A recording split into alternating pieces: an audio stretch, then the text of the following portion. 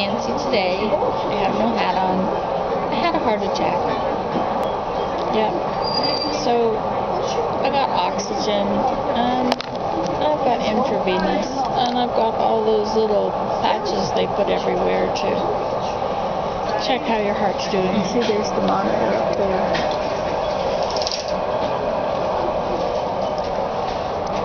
I must say, after you have a heart attack, it's really hard to tell if you have angina and when you have another little bout of pain.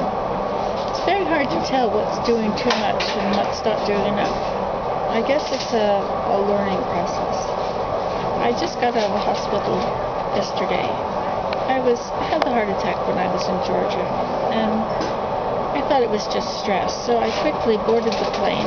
Well, I didn't board the plane. I got a ride to the shuttle and I took the shuttle to the airport and I bought a ticket and got a wheelchair and then I got pushed around until I got home to Ottawa, Ontario. So that was a lot of a lot of hours.